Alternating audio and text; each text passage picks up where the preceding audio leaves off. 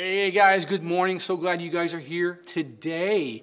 Got a great Bible lesson for you guys. And if you were watching the last two weeks, you know that the two weeks ago we learned that God wants to transform your life. And last week we learned that God wants to transform your mind. And today God wants to transform something else, and we are going to find out right after we have these songs. Guys, got two scripture songs for you with motions. I want to encourage you guys to do those, and I'll see you guys after the songs.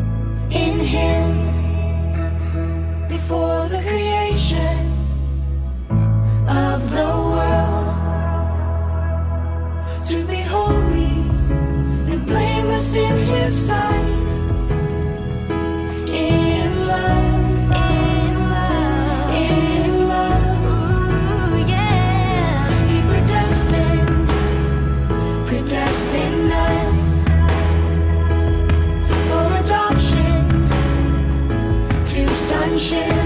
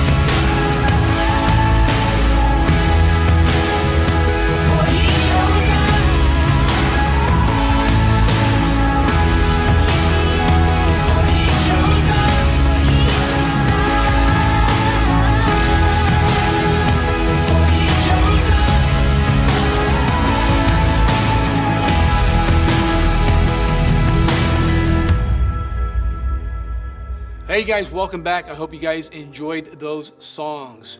Well, once again, we learned that God wants to transform our life and our mind. And if you look at my first picture up here, it says that God wants to transform your heart.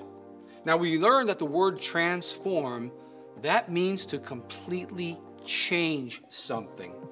And when we think about the word heart, a lot of people often think about that thing that's inside your body that's beating back and forth. Well, we do have a physical heart and that pumps blood through the body. You know, we have to take care of that physical heart by eating right and taking care of ourselves and exercising. It's a very important part of the body because if that part of that heart is not working right, it can give us a whole lot of problems. But the heart that we're talking about today is a spiritual heart. You actually can't see it or even touch it, but it is there and it's given to us by God. The spiritual heart is made up of the mind, the will, our emotion, our conscience. It's the part of us that thinks and decides, and also it's a part of us that senses what is right and wrong. And that's the part, the spiritual heart, that God wants to transform in us. Our lesson today is found in Luke chapter 17. It's about 10 men who were very sick. These men had something called leprosy, and leprosy is a skin disease. Now, let me tell you what they did with these people. If you had leprosy, you actually couldn't live with the people who were normal or didn't have the disease. You, they had to kick you out to a different place where everybody who had leprosy, they all kind of lived together. It probably wasn't a very happy place. And whenever these people with leprosy would come close to somebody who didn't have leprosy, they would have to scream out, unclean, unclean. So, can you imagine how those people lived and how rejected they actually felt? Well, this is how our story takes place. And once again, it's in Luke chapter 17. This is how the story goes Jesus was on his way to Jerusalem and he was traveling from Galilee and he was going to Samaria and he stopped at a small town in that country. There were 10 men that met Jesus there. These men did not come close to Jesus because they had leprosy, that horrible skin disease that could possibly be contagious. But these men saw Jesus walking and they called out to him. They said, Jesus, and then they called him Master. Please, please help us. In other words, we need a healing touch. Let's see what happened. When Jesus saw the men, he said this Go and show yourselves to the priests. That's all he said. Didn't touch him. He just says, Go and show yourselves to the priest. And in verse 14, it says, While the ten men were going, leaving to go show the priest, the Bible says they were healed. The leprosy was actually gone. But listen to this one of them out of the ten that was healed, he came back to Jesus. And what did he do? He praised God in a loud voice. Then he bowed down at Jesus' feet and he thanked him. Jesus asked a man, he says, Weren't there 10 men that were healed? Where are the other nine? Is this Samaritan the only one who came back to thank God? Now, listen to this in verse 19. Then Jesus said to him, to the man, Stand up and go on your way. Your faith has made you whole. Another Bible translation says, You were healed because you believed. Now, if you guys remember, back in verse 14, it says that as the ten were leaving to go show themselves to the priest, they were already healed, all of them. One of them that was healed came back to Jesus and thanked him for what he had done. But then Jesus, again, in the very last verse here, says, Your faith has made you whole, or you were healed because you believed. Well, wasn't the man already physically healed? The answer is yes. What Jesus is talking about here was that his spiritual heart was actually healed as well. It had been transformed. His heart, he, his sins were forgiven. He was saved. He was, in other words, he was a Christian and he was on his way to heaven. And guys, we learned something here. God wants to do that to every single one of you guys too. Now, I know that you guys believe in Jesus and you believe He died on the cross and He rose again and He offers forgiveness of sin. And my prayer for you guys is that you have opened up your heart to Jesus. You've thanked Him for what He did for you, and your faith is in Him. And when you put that faith in Him, like this man did, He will give you a new heart, He will transform you. Ezekiel chapter 36, verse 26 says this I will give you a new heart, and I will put my spirit in you. That's what God wants to do for anybody who will come to Him by faith. Once again, physical healing was given to these people, but one man not only received physical healing, but he also received spiritual healing. And boys and girls, Nothing is more important than spiritual healing, a transformation of your heart, because that's what's going to last forever and ever and ever. So, guys, if you want to go back and read this story for yourselves, I want to encourage you. There's so much other things you can learn from this story. I encourage you to go back this week and read through it. But at this time, I'm going to invite Miss Kristen to come up and she's going to share with you an illustrated story. And I will see you guys next week. Bye for now. Hey everybody, it is time for today's life story, so let's get started. Today we're going to learn about Oscar. Now, Oscar is an onion, and Oscar lived with Farmer Joe, and he loved to go on adventures in Farmer Joe's wagon. And all the other vegetables and Oscar would get together once a week to go into town, and they would ride on the wagon. Now, Farmer Joe had told Oscar, Now, Oscar, you can't be doing tricks. It's not safe. But Oscar did not listen, and Oscar would always try new tricks. So on this one day, he was actually walking upon a stick. It was attached from one side to the other, and he was going to walk across it. And as he walked across it, everything was going perfect. He was doing this trick. The other vegetables were amazed at what he was doing. But all of a sudden, the farmer hit a bump, and boom, off went Oscar. He went flying.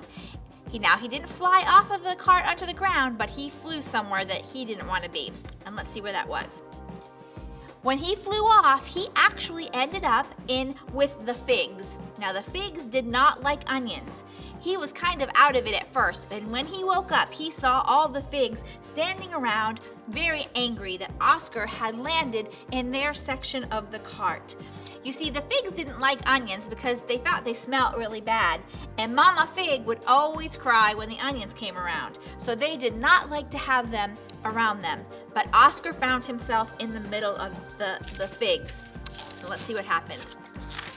Well, Oscar was pretty hurt when he came to. He had some bruises and he was kind of dizzy, and all of the figs were making fun of him and laughing. You see, he had got some bruises when he had fallen in there and he wasn't 100%. He woke up seeing stars and wondering, where am I? And let's see what happens.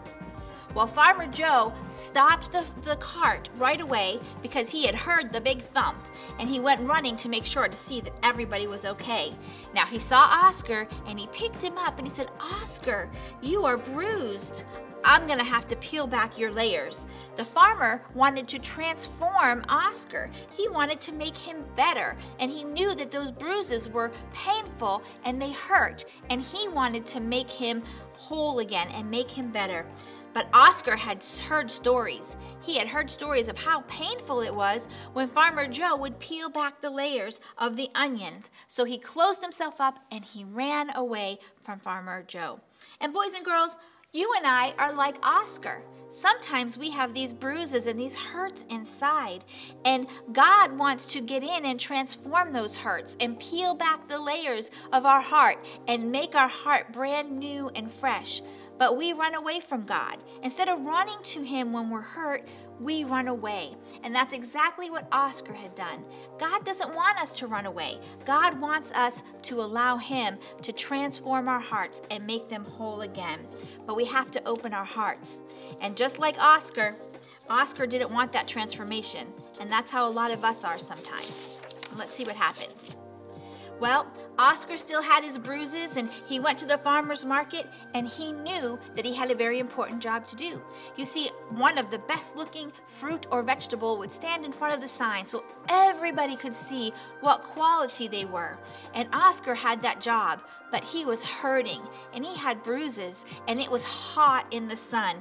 It was really, really hard for him to stand there. He tried his best, but he knew that he couldn't do that any longer. That the pain of the bruises, and especially from standing in the sun, it was getting worse, that he had to go see Farmer Joe. So let's see what he did. He went to go see Farmer Joe. And Oscar knew that it was going to probably be a little painful, but that Oscar Joe could make him, um, not Oscar Joe, Farmer Joe could make him feel better. So Oscar went to him, and Farmer Joe began to peel back the layers. He said, he said, now Oscar, this is going to be a little painful, but I promise when I'm done, I, you are going to feel so much better. And Oscar was starting to feel better once those those yucky layers came off, the hurt and bruise layers came off, he was like a brand new onion. And boys and girls, that's like us. When we go to God and we give him our heart totally and we bring our hurts and our aches and our pains to him, he peels away the layers of our heart and he makes it like a brand new heart and he can help us to feel whole again. And that's what God wants to do. But we have to go to Him. We have to ask Him to help us and not run away. Oscar already had realized that this was the best choice he ever made by allowing the farmer to peel away the layers. And boys and girls, if we choose to go to God with our hurts and our sadness and our problems, we will realize it is the best decision that we make when we go to God. So let's see what happens. Well, Oscar was like a brand new onion. He was completely healed of all his bruises and all the yucky layers were gone. But he went back to his old tricks. He started jumping over things again. He started to play on the wagon. You see, he had kind of forgotten how painful those bruises were and how painful it was to have to have those layers peeled back. So he went back to a way that he knew was going to be dangerous again. And let's see what happens. Well, sure enough, he was going to jump off of the wagon and do a big trick, but he jumped off too soon and bam, he landed in the mud and he got stuck. He almost got run over by the tire wheel because he had jumped too soon. He knew he made a big mistake, and guess what? He was bruised again. Let's see what happens. Well, he was very embarrassed by what he did, so he ran and he hid. He went underneath some hay and he tried to hide from the other fruits and vegetables. But they saw that he was there, and he was afraid to tell them that he made his mistake. He was embarrassed and he just wanted to hide. And boys and girls, that's like us. Sometimes when we make mistakes, which we all do, Everybody does. When we make mistakes, we try to hide those things from God. We try to hide our problems from other people. But God put Christian friends in our lives, Christian moms and dads and brothers and sisters, so that we can go to each other when we have rough spots, when we have problems. And just like Oscar was doing, he was hiding. That's what we do sometimes we hide. We don't want them to see those problems. But God wants us to come to Him and He wants us to go to our Christian friends. So let's see what Oscar did. Well, Oscar felt horrible. He had the bruises again. He didn't like hiding from his friends and especially hiding from Farmer Joe. So he knew there was only one thing that he could do. And that one thing was going to go to, to Farmer Joe and ask him to help again. So he went to Farmer Joe and Farmer Joe was more than happy to help him. He ran to him as fast as he could and he said, I'm so sorry that I did this again. Can you please help me? Farmer Joe said, Of course, I love you and I want you to be well and I want to fix you and make you whole. So, boys and girls, just like Farmer Joe said to Oscar, that's what God says to us. When we go to our with our problems, he doesn't embarrass us. He doesn't look bad on us or turn his back on us. He is willing. God is there. He wants to transform our hearts to be whole in every way, in our mind, in our body, and in our spirit. And so, boys and girls, we have to be like Oscar in the fact that we go to God like he went to Farmer Joe and we ask for that help and we allow God to transform our heart. You see, after Oscar went to Farmer Joe, Farmer Joe had him perfect again. His bruises were fixed, his onion peels were back, and he was made whole. And that's what God wants to do in your life today, in my life today, in everybody's life. He wants our hearts to be transformed, and he, God is the only one who can transform our hearts. Boys and girls, I hope you take some time today and listen to the story that Pastor Rob taught in this story, and you just take that time to spend talking to God, telling Him what's going on. We can share with God when we're happy, we can share when we're sad and when we're hurting, and He will take our hearts and He will make them whole because He loves us so, so much. Boys and girls, I hope you have a great week, and I hope you know that we love you guys so, so much too. And we look forward to seeing you again. Have a great week. Bye bye.